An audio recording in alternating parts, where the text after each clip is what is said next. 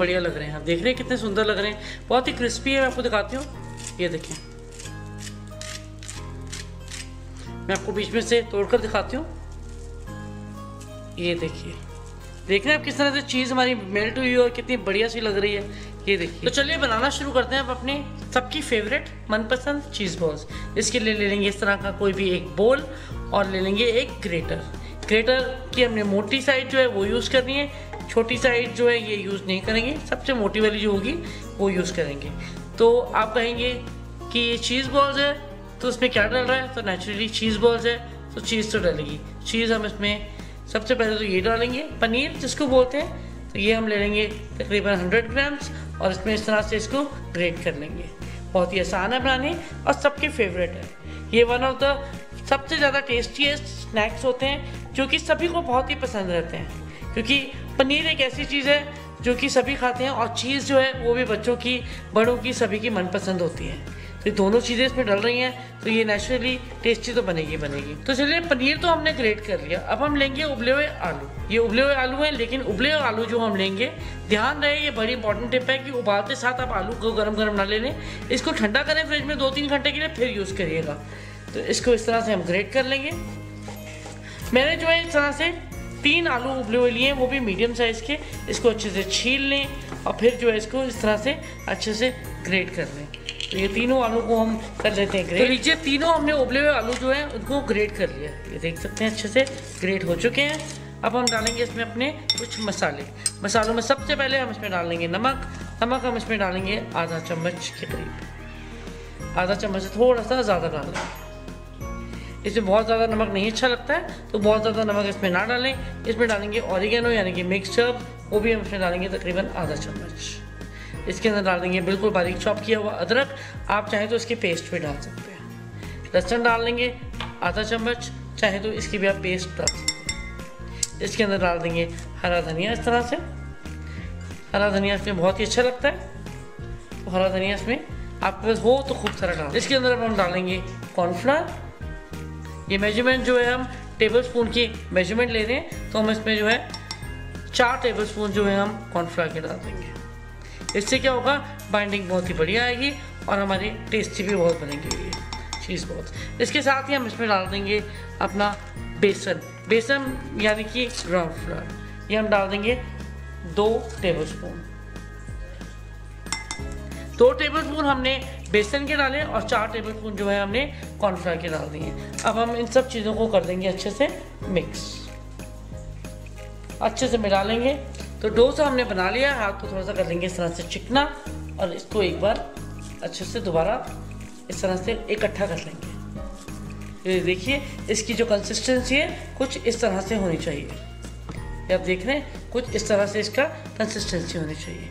ये बिल्कुल अच्छा डो बन गया है। अब हम चलते हैं अपने अगले स्टेप की तरफ़। कोई भी ले लेंगे इस तरह से एक कप और इसके अंदर डाल देंगे एक टेबल स्पून के करीब कॉर्नफ्लावर इसके अंदर डाल देंगे थोड़ा सा पानी और इसके बना लेंगे एक स्लरी पानी बहुत ज़्यादा नहीं डालेंगे। तकरीबन तीन टेबल स्पून के करीब जो है हम इसमें पानी डाल देंगे और इसको कर लेंगे इस तरह से मिक्स बिल्कुल भी कोई लम्स नहीं रहने चाहिए। अच्छे से हमारा जो कॉर्नफ्लावर है इसके अंदर मिक्स हो जाना चाहिए। तो लीजिए ये रेडी हो गया, इसको साइड कर लेते हैं। अब हम लेंगे ये डो में से थोड़ा सा डो इस तरह से, और इस तरह से जो है इसकी एक बॉल बनाकर इसको इस तरह से फ्लैट कर देंगे। ये देखिए, इस तरह से फ्लैट कर देंगे। अब हमने इसमें क्या करना है? डालनी है चीज़ इसको बना देंगे कटोरी की तरह इस तरह से और कोई भी चीज़ ले लेंगे। मैंने जो है ये मोजरेला चीज़ ली है। आप चाहें तो क्यूब वाली प्रोसेस चीज़ ले सकते हैं। आपके पास जो भी चीज़ हो अवेलेबल घर पे वो ले लें।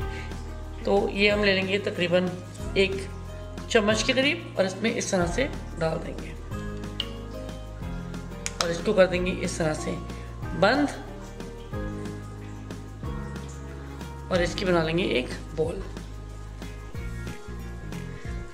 इस तरह से हम सारी बॉल्स बनाकर जो है रेडी कर लेंगे। सारी बॉल्स हमने रेडी कर ली है अब हम चलते हैं अपने अगले स्टेप की तरफ़। तो हम लेंगे एक प्लेट और इसमें डाल दिए हमने इस तरह से ब्रेड क्रम्स और इस तरह से सारी प्लेट में इस तरह से स्प्रेड कर देंगे। अब ये जो स्लरी बनाई है, वो भी ले लेंगे और इसको एक बार से हिला लेंगे। क्योंकि इसको बनाए हुए हमें दो मिनट हो चुके हैं तो इसको एक बार हिलाकर फिर यूज़ करें।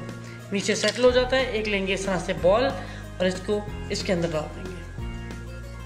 इस तरह से गोल घुमाएँगे और इसको डाल देंगे ब्रेड क्रम्स के ऊपर। ऊपर से इस तरह से क्रम्स लगाएँगे और इसको अच्छे से इस तरह से सारी तरफ़ हमने अच्छे से जो है ब्रेड क्रम्स इस पर लगा लेंगे इस तरह से ब्रेड क्रम्स लगाकर हमने इसको निकाल लेना एक प्लेट में और सारे जो है इसी तरह से हम कॉर्नफ्लावर की स्लरी में इसको डिप करेंगे इस तरह से और इसको जो है इस तरह से ब्रेड क्रम्स इसके ऊपर लगा देंगे। तो सारे हमने इसी तरह से बना करके रेडी कर लेंगे तो लीजिए, ये सारी बॉल्स बनकर रेडी हो गई है। इतने बैटर में हमारी ये छः बॉल्स बनी है, अच्छे बड़े साइज़ की। तो इसको अब हम रख देंगे फ्रीज़र में तकरीबन आधे से हाफ़ एन आवर से 45 मिनट तक इसको फ्रीज़र में रख दें। उसके बाद हम चलते हैं अपने अगले स्टेप की तरफ़। तो लीजिए एक घंटा हो चुका है हमने इसे फ्रीज़र में रखे हुए हमने इसको निकाल लिया है और ये अच्छे से हमारे जो है सेट हो चुके हैं। अब हम चलते हैं अपने अगले स्टेप कोई भी कुकिंग ऑयल आप घर में यूज़ करते हो तो उस तरह से ले लें कोई भी कढ़ाई में डाल लें इस तरह से और गैस को नीचे मीडियम फ्लेम में कर दें। एक बार ये गर्म हो जाए हाथ लगा के इस तरह से देख लें। लग रहा है पता लग चल जाता है आराम से कि सेक इसका जो है पड़ रहा है गर्म हो गया ये। इस बहुत ज़्यादा गर्म हमने इसको नहीं करना है सेक को हल्का कर लें और फिर एक एक करके जो है अपनी ये बॉल्स को डालें। जितनी बॉल्स उतनी एक बार में फिट आए उतनी ही डालें एकदम ज़्यादा एक्स्ट्रा बिल्कुल मत डालें। तो मैं इसमें तीन डालूँगी और फ्लेम को जो है लो मीडियम कर दूँगी। इसको भी बिल्कुल हिलाना नहीं है, एक साइड से इसको अच्छे से हल्का सा गोल्डन ब्राउन होने देते हैं।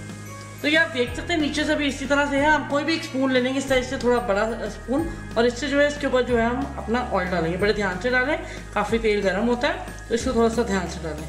इस तरह से इस पर भी डाल देंगे और सब पे डाल देंगे। ये तीनों पे हमने डाल दिया इस तरह से। अब इसको स्पून की हेल्प के साथ ही हम इसको आराम से इस तरह से मोड़ लेंगे। ये देखिए, बहुत ही बढ़िया सा, हल्का हल्का सा गोल्डन ब्राउन कलर आया। इसको भी मोड़ लेंगे। ये देखिए, इस तरह से। इसको इस तरह से भी हल्का हल्का पका लेते हैं। इसी तरह से हम गैस का फ्लेम जो है लो मीडियम रखेंगे। अभी लो मीडियम रखेंगे, अंदर से अच्छे से पक जाएगा, थोड़ा सा ये गोल्डन ब्राउन हो जाएगा, फिर थोड़ा सा तेज कर देंगे। आप देख सकते हैं, तीन जो है साइड पे मैंने कर दिया इसी तरह से मैंने ये तीन और मेरे पास जो बड़ी थी छः टोटल में बनी थी।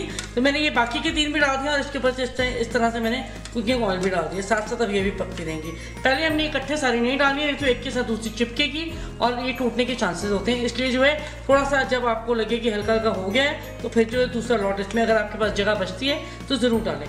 तो इसी तरह से इसको हल्के फ्लेम में पकने देते हैं। आपको लगे फ्लेम थोड़ा हल्का हो गया तो फ्लेम को तेज़ कर लें। इस तरह से मैंने फ्लेम को थोड़ा सा तेज़ कर लिया। इसको हिलाएँगे और हर तरह से बराबर का जो है कलर इसमें आने देंगे। तो देखिए कितना बढ़िया से इसका कलर आ गया, कितना बढ़िया लग रहा है। पसंद आ रहा है, जल्दी से लाइक का बटन दबा दीजिए शेयर करें। और अगर आपने मेरे चैनल को अब तक सब्सक्राइब नहीं किया है तो जल्दी से कर लीजिए बेल आइकन दबाना बिल्कुल ना भूलें। तो इसी तरह से हम इसको गोल्डन ब्राउन करते रहेंगे सब तरफ़ से। ये देखिए, बहुत ही बढ़िया सा कलर इसमें आ गया है।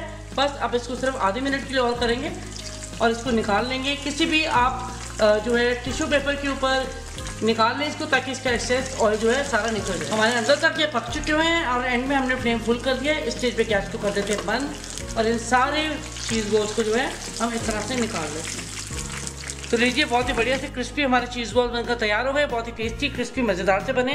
ये देखिए कितने बढ़िया बने। लग रहे हैं कोई ये बाज़ार से कम? घर में इतने बढ़िया बना सकते हैं, बाज़ार में लेने की बिल्कुल भी ज़रूरत नहीं है। ज़रूर बनाइएगा। तो जल्दी मिलते हैं एक और नई रेसिपी के साथ। धन्यवाद।